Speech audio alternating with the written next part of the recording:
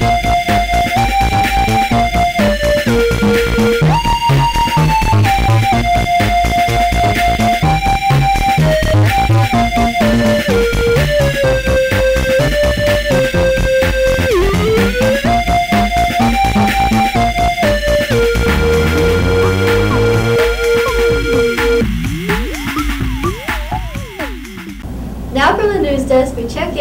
Lion Direct correspondence news you can use and some that will amuse.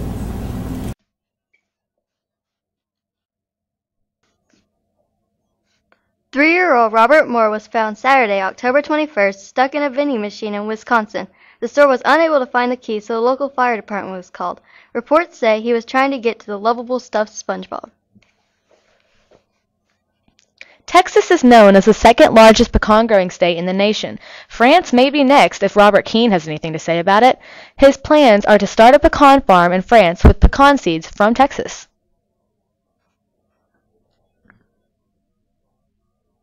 In order to raise business, Dallas-based Blockbuster is starting a new program called Total Access. It gives a free rental to anyone who returns DVDs from the internet to their local store. They are hoping to compete better against their biggest online rental rival, Netflix. Think you can get a boost with energy drinks? Recent studies have been found that energy drinks are more complicated than they advertise. Nutritionists warn that the drinks hook kids on unhealthy jolt and crash cycle. The bottle warns against consumption under the age of 18. Not only is there a tremendous amount of sugar than Coke, but one can of your average energy drink has three times the amount of caffeine than that of an average Coke. Now to feed Greenville's caffeine craze, a new Starbucks will be open next year off I-30. Starbucks is one of the leading coffee venues in the world. Beyond religion, the Bible is a book of history. At Greenville High School and other schools across Texas, the Bible is taught in the classrooms. The Supreme Court said teaching of the Bible is okay as long as the class doesn't promote one form of religion over another. But a religious studies professor at SMU said that's exactly what's happening. In all schools studied, the Bible was always taught as elective. Therefore, the Texas Department of Education has no say in the way the classrooms are taught. Our Bible teacher here at our school, Mr. Brent, said, I've been thankful to teach the Bible class since 1996. We don't use anything but the Bible, and our goal is to all know more about the Bible by the end of the year than when it started. Back to you in the studio. Thanks, Clint and Melanie. We go to the halls of GHS to visit with Mrs. Ballou about dual credit, and Mrs. Folden reminds us of Clothe a Child. Dual credit classes here at Greenville High School are those classes that the students can take and they receive high school credit as well as college credit at the same time. What I'm recommending is the students take as many dual credit classes as they can in combination with AP classes where their strengths are so when they get ready to graduate they could be a at least a sophomore in college. Child is a project of uh, United Way of Hunt County that provides uh, a set of clothing for children 0 through 18 years of age or in high school yet. And it uh, provides clothing for needy students. All right, I'm here with uh, Coach Osborne, three-year veteran, and we're going to ask him a few questions today. All right, uh, why did you decide to come to Greenville? I decided to come to Greenville because I knew it would be a good opportunity. Uh, I knew the kids here. I've worked these camps in Greenville for the past two or three years. All right. Uh, with the new district, what sc schools will be our primary rivalries this year? Well, Poteet uh, was in our old district, and uh, I know that's going to be a heated rivalry. Uh, Greenville and Poteet always play each other hard. Uh, we're adding a couple new school schools, McKinney. Uh, they're always talented, and that, that should be a, also a pretty good battle. And, and All right. Last question. why did you pass a university job to come here to Greenville? Um, like I said earlier, I knew Greenville was going to be a great situation for me. Uh, I knew we would have a chance to go very deep in the playoffs and compete for a district championship. Uh, I felt like this is where I needed to be. Uh, you know, I'm not ruling out a college job in the future, but uh, right now I know this is the right decision for me. I'm very happy to be here. Uh, the kids have responded greatly to me being here, and uh, you know, I just felt like this was the right move for me and my family and uh, I'm sure it's going to pay off. Thanks, Coach Osborne, for your time, and back to the studio.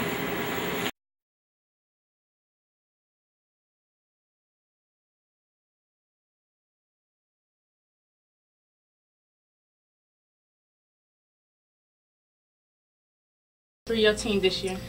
My goals for my team this year are to start number one, winning within, believing in themselves and their teammates. And one of our captains, LaQuinta Ross, is here. And last year she had to sit out most of the season because of injury. So I would like to hear her goals for her as a team captain, what her goals are for her team this year. LaQuinta. Um, one of my goals are for nobody getting injured and that we go to state and the playoffs and everything and hopefully that everybody do good so we won't have to worry about anybody failing and all that other stuff. Great question. Which team do you think might be the biggest competition for our girls this season? We did move into a new district and it's very competitive. Um, Forney High School and West Mesquite made the playoffs last year in this district, so I, I imagine they will be some of the toughest competition. But you, what do you think? I'm thinking Turl, Turl? a little bit because uh, last year before I got injured, they was pretty good or whatever, and they had this one girl that was a post, and she was making a lot of points, and we couldn't stop her as much. And she returned back this year, and I think that we got a better team this year anyway, so I think we can handle it. Project Graduation has gone from the planning stages to fundraising. The dodgeball tournament is a senior-only contest, but will be a contest for spectator fun. Here's Ben Gilbert getting the dodgeball updates. Uh, so whose idea was it to host a dodgeball tournament for Project Graduation? Actually, uh, the idea came from Brad Powers. You know, I'd mentioned the senior class and assembly that we're going to do project graduation this year and asked for ideas because I told them we do things like co-ed volleyball and basketball and so on, asked for ideas. And uh, Brad came in one morning and asked me about the dodgeball tournament, about doing uh, a dodgeball tournament. All right, can we get a little clarification on the specs for the who can be on the team and not? Sure. Uh, the teams teams are made up anywhere from eight to ten seniors. So it's only the seniors that can actually participate in the in the game. And do you know where the tournament will be uh, played in? The tournament will be played in our gym. It'll be on the main gym floor. We'll actually use the volleyball court. Uh, the uh, the lines on the volleyball court will actually be the dodgeball court lines. So you have a, basically a 60 by 30 court. Uh, you have a center line down the middle uh, that splits the uh, the two sides, so the teams will be on each side of that. There's a 10 foot line off the, the center line. That's actually what we're going to call the attack line in dodgeball. I think in the original rules I put 9 foot, so I'll change that. It's actually 10 foot. But that's the attack line. So the team, uh, the, the balls will be placed on the center line, three on each side of a center hash, hash mark. Uh, the team charges the balls to the right, so they go to the three balls on the right. That's what they pick up, you know, to engage the other players with. You have to be behind the attack line before you can throw at anyone. So they charge balls, pick up the balls. They have to go back at least 10 foot or take the ball, get the ball behind the attack line anyway, and then uh, then they can start throwing at the opponents and uh, begin the play.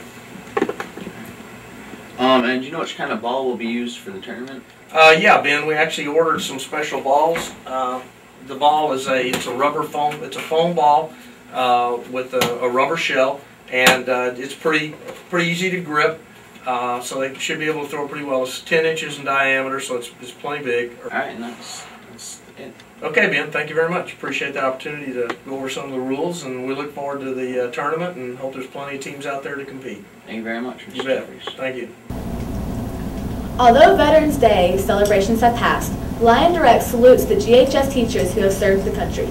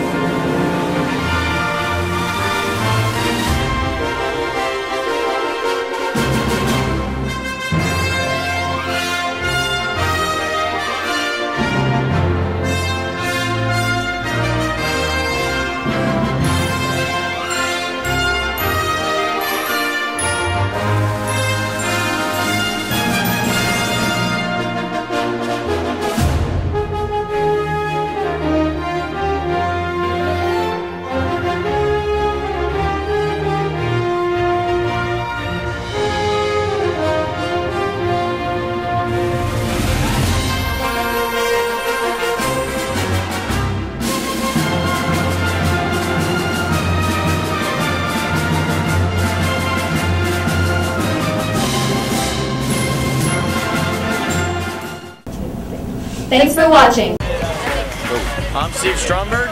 I'm Trent Jones. We're camped out here in front of Walmart, and we're we're here to ask people what they're doing out here. So let's go. What are you doing out here?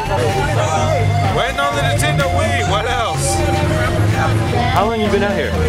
Since 9 o'clock this morning. When does it come out? 12.01 tonight. I got here 19 hours ago. Been here since 4. We got 5 hours to go so we can all get our hands on the Wii. This is going to be great. I just love the Wii. Uh, but yeah, I've got 5 hours left and it's still a long time. But, you know, it'll be worth it in the end, hopefully. Gosh, you're finally big in this game. I'm almost done.